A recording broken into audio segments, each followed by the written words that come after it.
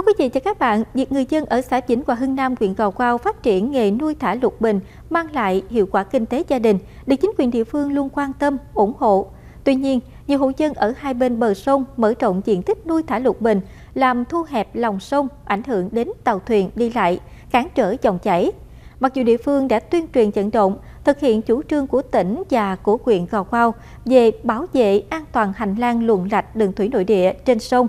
nhưng đến nay vẫn còn nhiều hộ dân chưa thực hiện. Mời quý vị và các bạn cùng theo dõi phóng sự sau đây. Đoạn sông Cái Lớn chảy qua địa bàn sáu ấp thuộc xã Vĩnh Hòa Hưng Nam, huyện Gò Quao, được nhiều người dân sinh sống ở hai bên bờ sông nuôi thả đục bình từ nhiều năm nay để làm nguyên liệu thô bán cho thương lái. Đây còn là nguồn có thu nhập ổn định, mang lại hiệu quả kinh tế cho nhiều gia đình. Trung bình cứ 1.000 mét vuông mặt nước thả nuôi lục bình, sau 3 tháng thu hoạch, trừ chi phí, hộ nuôi còn lời từ 10 đến 12 triệu đồng. Vì vậy, nhiều hộ dân đã mở rộng diện tích nuôi thả lục bình, vượt phạm vi cho phép, thậm chí vượt đến vài chục mét, làm thu hẹp lòng sông, cản trở giao thông đường thủy, hạn chế dòng chảy, gây ngập úng cục bộ, đã từng xảy ra trước đó. Vì hiện nay cây lục bình là một trong những cái cây mà góp phần số đói giảm nghèo rất là cao. À, thì các cái ấp này thì nhờ vào cây lục bình mà à, tăng cái thu nhập cho gia đình. Đó, bác anh thì một công lục bình vậy thì nó cái thu nhập nó khoảng gấp 3 lần so với anh thua bằng một công lúa.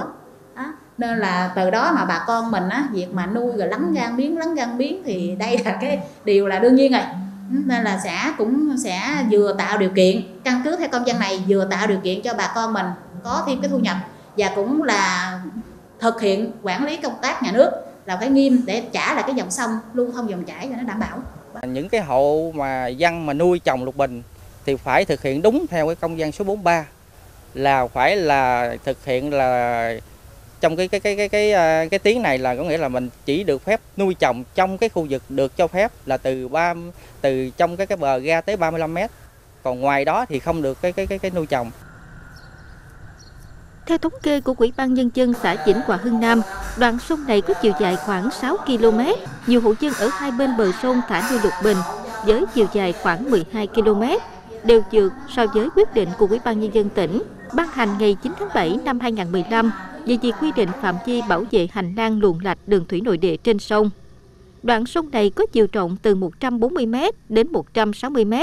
luồng lạch tối thiểu từ 70 m đến 80 m. Nhưng hiện nay, chỉ còn khoảng 50 mét, có đoạn thậm chí còn nhỏ hơn rất nhiều so với quy định. Chính quyền địa phương đã vận động tuyên truyền, đa số hộ dân thực hiện tốt việc thả nuôi lục bình trong phạm vi cho phép, còn lại 47 hộ dân chưa thực hiện. Tôi cũng đề nghị là mời à, chỗ sao khuyến khích bà con là ra rời theo cái đúng cái quy cái định là của nhà nước 35 mét mà mình không rời 35 mét cũng quan gian người có người 5 mét người 10 mét nói chung là nó vậy có sự thật chứ không phải không có dời dời vô sâu lắm á. Trước thực trạng này, các phòng chuyên môn của huyện Cầu Quao cho biết sẽ phối hợp với Ủy ban Nhân dân xã Chỉnh Hòa Hương Nam tiếp tục tuyên truyền vận động nhiều hộ dân thực hiện đúng theo quyết định của Ủy ban Nhân dân tỉnh Kiên Giang quy định về hành lang bảo vệ luồng lạch đường thủy nội địa trên đoạn sông này.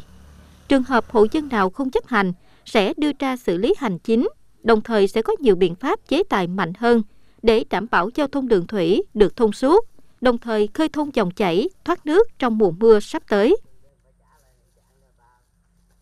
Công tác tuyên truyền là cái cái cái cái à, đầu tiên là có nghĩa là người dân ý thức được là cái việc mà cái lục bình nó gắn với cái đời sống là nghĩa là mình vẫn cho phép người dân người ta nuôi nhưng mà trong cái giới hạn cho phép. Cái thứ hai nữa là hiện nay thì lục bình thì nói chung thì nó gây cái cản trở cái cái cái, cái dòng sông. Thì là trước mắt thì sẽ là bố trí là mỗi một cái à, xã như vậy sẽ là một cái máy cắt lục bình cho nó cắt sao mà cho nó nó, nó, nó đảm bảo. Cái thứ ba nữa thì à, hiện nay thì nói chung thì cái tình hình lục bình thì nó cũng hơi nhiều do đó thì trong thời gian tới thì à, chỗ xã cũng như huyện sẽ tiến hành ra quân có nghĩa là thuê à, cái à, à, sáng sáng sáng sáng, sáng múc sáng cạp đó câu be để mà múc cái lượng lục bình mà hiện nay mà đó là nó nó nó nó, nó, nó, nó kẹt cứng cái dòng sông đó không thể phủ nhận cây lục bình đã giúp người dân tăng thêm nguồn thu nhập ổn định, đã trở thành một cái nghề mang lại hiệu quả kinh tế cho người nông dân ở huyện Gò Quao.